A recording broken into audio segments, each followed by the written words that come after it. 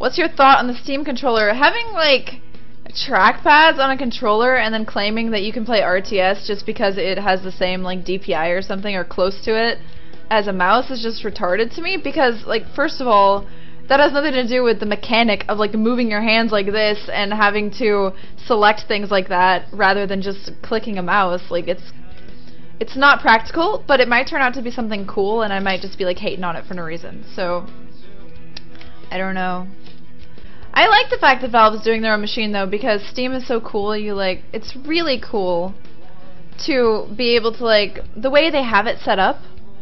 Um, and the way the controller works is anything that even doesn't have controller support, you can play it now. So pretty much everything you have on Steam, anything your friends have gifted you, anything you've gifted other people, everyone can play them like sitting on their couch. And I think that's a cool idea, but I don't think it's possible to make it precise enough to play RTS games on a console. That's just, I don't think it's point.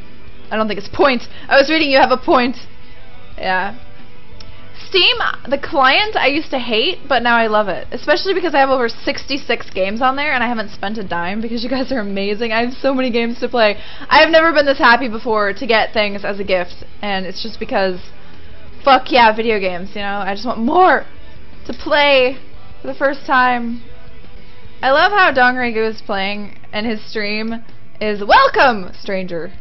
What do I think about Ben Affleck as a new Batman? Don't ask me that question. I'm in love with Ben Affleck. I have been forever. So, I would fuck the shit out of that dude. You don't even know. So, you know I'm for it. Like, okay, honestly, thinking about it from an, as an outsider, if Ben Affleck is as bad an actor and as goofy as everyone says, he still has a better, like, lower face for it, and he's taller and bigger than Christian Bale. Like Christian Bale got pretty fit for it, but if Ben Affleck can get fit for it, he has a much better face for it, in my opinion. Like he has a more like manly jaw and stuff like that. Justin Bieber is Robin.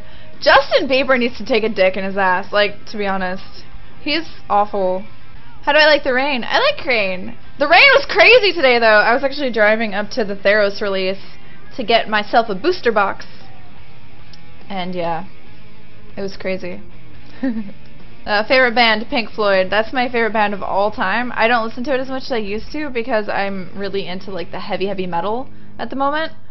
And it's better for like working out and streaming, so I just end up listening to it more. But Pink Floyd, oh my god. The melodies, it's like heaven. Maybe next time play Donkey Kong 64. That sounds like fun. I need to start up my retro night. I used to do a retro night every Sunday night where I would stream um, like let's plays of my favorite retro games. I finished um, Sonic 3, Donkey Kong Country 2. Uh, what else did I finish? Uh, what was it? Super Mario Brothers 3. Um, and Crash Bandicoot. How much weed do I smoke? I haven't smoked weed in like two or three months, and before that, like five years, so none, basically. Oh, I'm excited about Batman Arkham Origins because Deathstroke's gonna be in it, and I've been watching Arrow, so I'm like, oh, Deathstroke. Deathstroke sounds like the naughtiest shit. Like some guy who was just like totally into his masturbation, and he that last stroke was that Deathstroke. Man. I'll leave you guys with that. Thanks for watching. Don't forget to follow my stream, subscribe if you'd like to support me, and subscribe to my YouTube channel, which is the best.